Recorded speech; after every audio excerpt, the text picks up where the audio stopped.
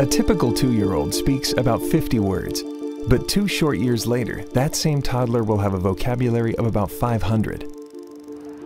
On average, 25% of stroke patients can relearn life skills and reclaim independent lives. And U.S. companies collectively spend $171 billion each year on employee training, while mid-career workers strive to keep up with technology and the digital economy. In fact, how we learn, retain, and use new information is key not only for personal success, but how we function as a society. Yet, from the firing of synapses to instructing in our schoolrooms, do we fully understand how we learn? What are the roots of individual differences in learning? And how can we help both challenged learners and those most gifted reach their full potential? Billions of dollars are spent every year educating the nearly 56 million students in U.S. public schools. But even with such a significant investment, American youths rank lower than many of their international peers. How can we do better overall and customize teaching to reach all students?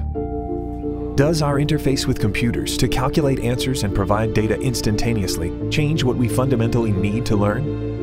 Has the inundation of information via the web, Twitter, and other broadcast media affected our levels of concentration and our memory? How can we best leverage this technology to build the optimal human-machine partnership? And how can we maintain a vigorous intellectual life well into our senior years, especially when every 68 seconds someone in America develops Alzheimer's disease? Utilizing advances in radiology and computational analysis, and our unparalleled expertise in cognitive and brain sciences as well as in urban schools, the new Johns Hopkins Science of Learning Institute will increase our knowledge along the entire continuum of learning, from cell to classroom and beyond.